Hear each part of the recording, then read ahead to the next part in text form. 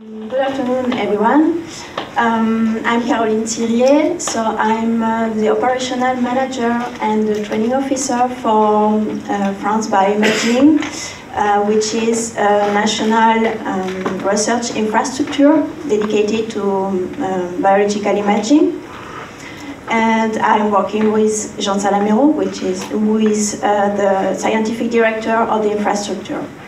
So today, um, I'm really glad to present um, France Bioimaging Initiative uh, for an integrated and progressive training passport for recognition and validation of imaging core facility engineers career path. So, um, as a national uh, research infrastructure, of course, um, training is a key mission for France Bioimaging. Uh, but its uh, purpose is also um, to guarantee uh, the excellence of education and um, professionalization of the bioimaging community. And therefore, we are working uh, to guarantee the, the, the, excellence of the training uh, offer but also and mainly of the expertise of the trainers. Uh, that means that we want to be um, to guarantee the quality of uh, the training of our um, core facility staff uh, because they are the, the main um, factor for um, knowledge transfer. And that is why um, we think it's essential for us to be proactive uh, in uh, the, um, uh, in the, this proposal of a new kind of training model, um, which is an integrated and progressive training um, pathway, aka training passport, as we call it. And um, uh, to also, it will be important um, to integrate this kind of training pathway um, we, uh, into um, the career path of the core facility staff. So um, this was our, our first idea uh, about how to, to, to propose uh, this type of training model. And the first step um, to propose the basis of this training model was um, to analyze a bit um, our training offer, current training offer in France Bioimaging. Um, so, um, of course, we propose a lot of training for our users uh, so they can acquire the know-how uh, about technologies and methodologies. Um, we have, of, of, course, a lot of vocational training, like many other countries um, here represented. And we participate and co-organize trainings with other institutions, national institution, transnational institution, and international institution. Also, France Bioimaging has a very important uh, role as a sponsor of training activities. So we can see that we have a large uh, training portfolio and that we could use this portfolio for to build our uh, training pathway. But we, if we, if we um, look a little bit closer to this training offer, we also see that we have uh, a few points that we have that can be bottlenecks, like um, the problem of the availability of training uh, versus the current need in training. Um, also, we don't have a quality assessment model um, in France, also national quality assessment um, for the training. And the main problem could be the fragmentation of the training offer because each partner institution or stakeholder, training stakeholders is um, is proposing its own training plan. So its own training courses. There is no interactions between um, between those um, training plans. And this leads also to another problem, the redundancy of the training offer. And this problem is mainly for the basic courses. Um, so we have to keep it in mind um, when we will be uh, thinking about how to build this uh, training model. And uh, the last uh, problem is um, the lack of sustainability for a training model, a national training model. That's why we think it's important to think a little bit about the possibility to have a national initi initiative for a training pass in bioimaging. Uh, if, of course, these courses exist and are really useful for the acquisition of expertise and knowledge, but we don't have um, the tools to measure the benefits uh, of uh, these courses on the career path of the, um, of the core facilities, and we don't know much about the impact, the impact on the professional um, perspective of the core facility staff. That's why uh, we, are, we were working on um, a rationalization of the training offer in France and the construction of a training path. And to do that, um, we were well aware that we needed to build a consensus with the national partners um, working on um, uh, bioimaging, um, so, and why we need this consensus? Because it's really important uh, to have the support of these uh, partner institutions and training stakeholders in order to have a sustainable uh, training model and to be able to propose um, um, a training path that could be integrated into um, the, the career um, development of the core facilities and recognized by those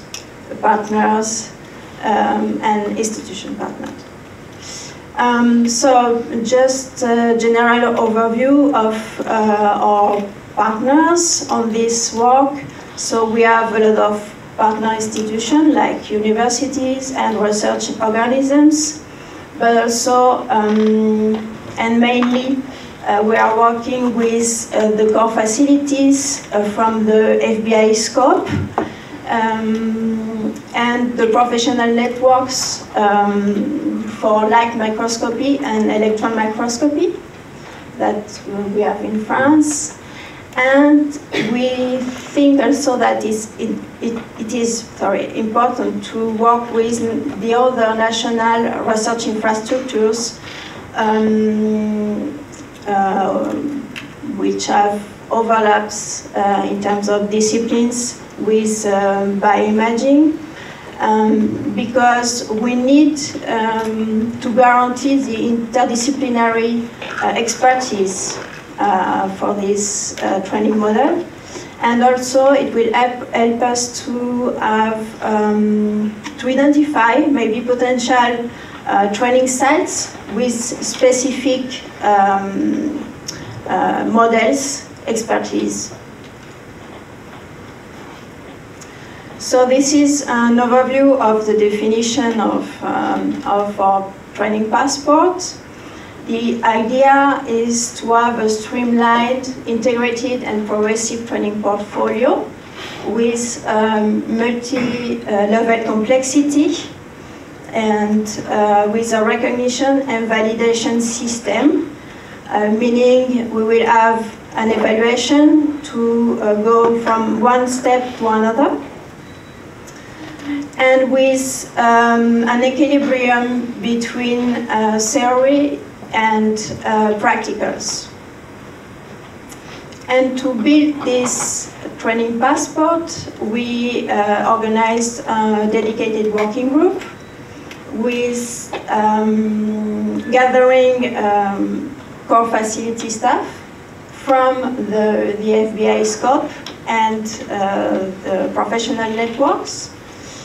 Um, and um, so they, they are working, uh, currently working on the um, construction of the progressive pathway and the content of the different level of the training passports and uh, the different modules.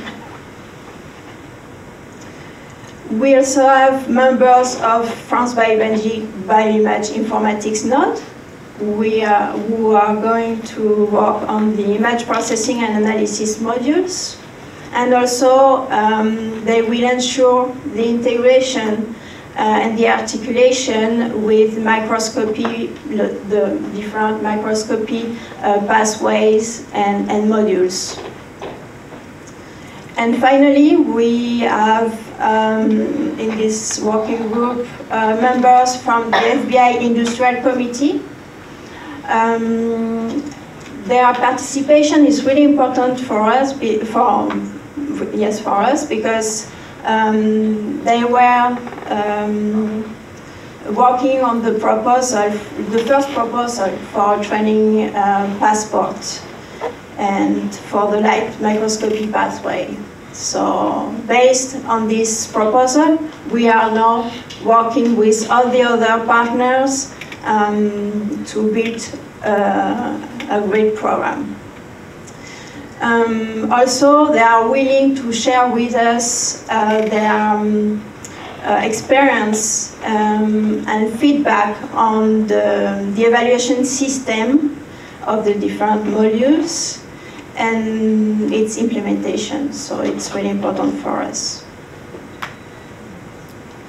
This is, uh, just for information, the roadmap that we elaborated with the different deliverables. And we are currently working on the, um, the integration phases. So um, we are trying uh, to see which um, available um, training courses could be integrated to the training uh, passport if we need to reassess those training. So we, we have a technical um, sheet about the requirement for each training. And we expect to be able to launch a first proof of concept uh, during next year. And this is um, the current proposal, an overview, of course, uh, of the current proposal for the, the training passport. So as you can see, um, we have a first level, which corresponds to the, the basis in imaging, which is a joint module um, between light microscopy and electron microscopy. And this level will lead to a second level um, with um, three uh, modules, main modules, on optical principles for light microscopy and electron microscopy, and a third module um, uh, for image analysis and processing, um, of course, there will be um, interfaces between those modules in order to have a complete overview of, uh, of the training. And then you have the third level, which is more um, a la carte level. Uh, so the participants uh, will be able to choose one of or, or several um, modules um, which are um, the more advanced modules in this training passport.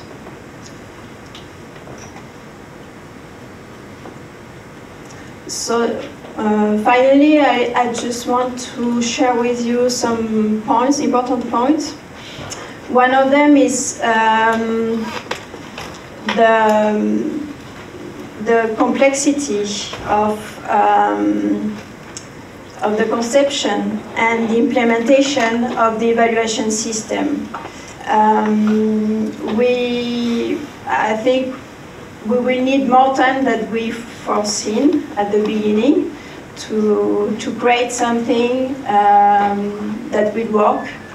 And in order to be able to monitor um, really well the, the, the, the, the validation of, um, of the, um, the expertise acquired during the, the training passport. The second point is um, that this training passport will be not uh, limited to core facility staff, but open to users and all the community in bioimaging.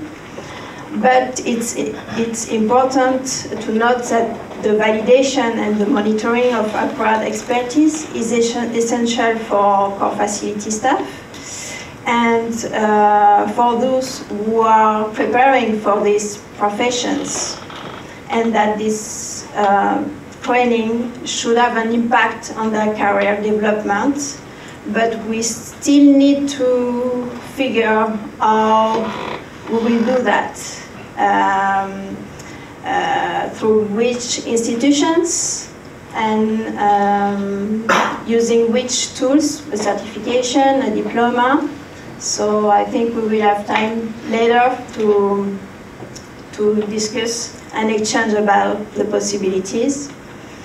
And the last point is that, of course, uh, you have things that uh, this training passport is mainly focused on technical and methodological training. It's a start. Uh, the idea, and we are well aware of that, is that we will be complement this um, training passport later on with uh, training on um, soft skills and administrative skills. So we have a complete overview of a real career path for our facility staff. And this is the end for, for now.